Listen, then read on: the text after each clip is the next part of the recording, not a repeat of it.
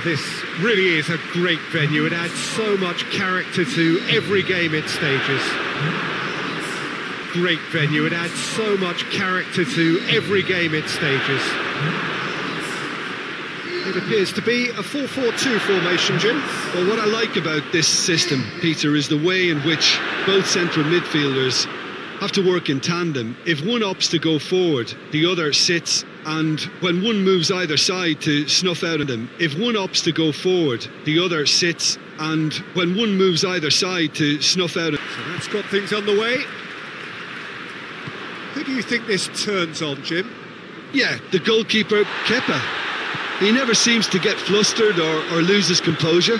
That kind of calmness is infectious too. Uh, looks a foul. Yep, referee's given it. Dangerous position in the opening minutes. And we have the first dead ball situation of the game, promising one.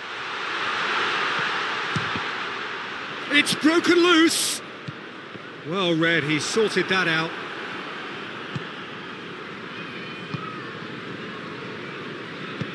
Tries to get it forward quickly. Tielemans hoists it forward. It's one! Oh, that